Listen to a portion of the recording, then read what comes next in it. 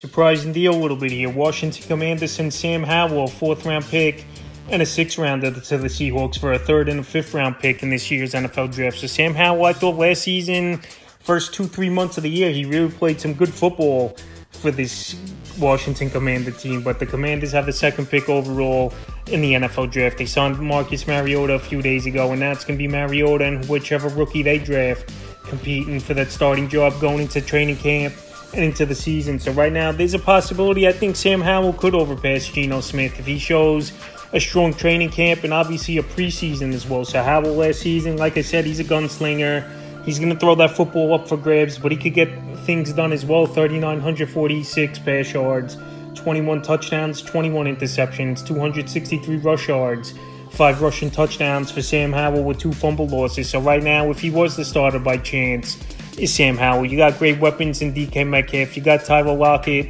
over there as well for the Seattle Seahawks team.